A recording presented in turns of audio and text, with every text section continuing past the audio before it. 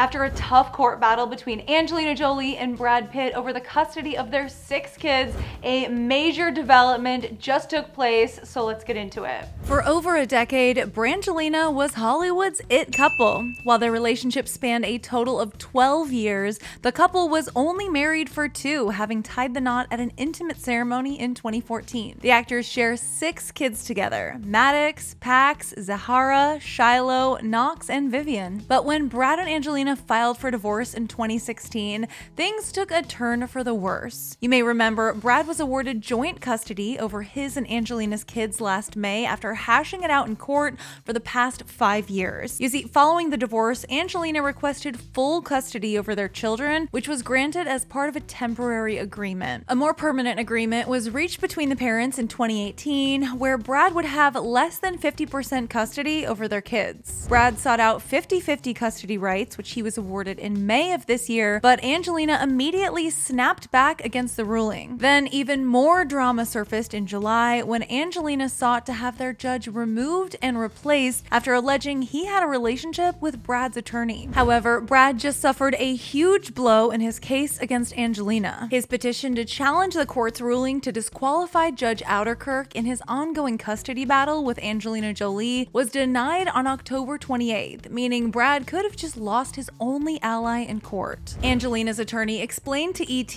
after the ruling that Miss Jolie is glad for the family to now move forward cooperatively. And move forward she certainly has. Last night, Angelina was joined by five of her six kids for the UK premiere of her upcoming Marvel flick Eternals. The pics are so adorable, and we're loving seeing the kids all glammed up on the red carpet. Shiloh, one of Brad and Angelina's two biological kids, looked so grown up wearing one of her mom's Dior dresses to the event. Seeing the kids accompany their mom to premiere events is such a welcome change as Angelina is notoriously and understandably protective of her kids and their safety. We hope Angelina and Brad can find a solution soon as this is certainly not an easy situation for anyone involved. But for now, we're just happy that the kids seem to be enjoying their international travels with Angelina on the Eternals press tour.